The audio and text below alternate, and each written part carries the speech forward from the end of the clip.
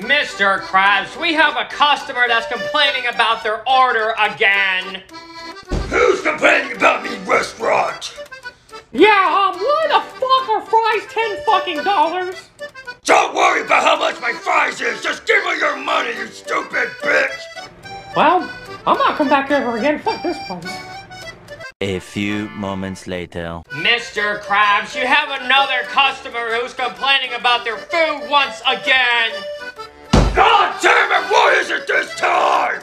Excuse me, I asked for mustard, not ketchup. Never mind. Excuse me, where's your manager? I am the manager, bitch. Whatever, I'm fucking out of here.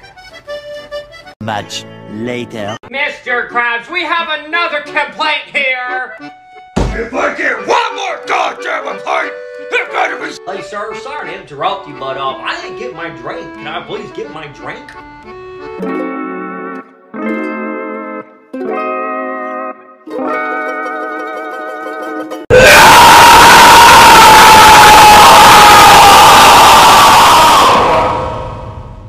I'm going to a different restaurant. You're such a big baby bitch. Much, much later. Mr. Krabs, you have another enormous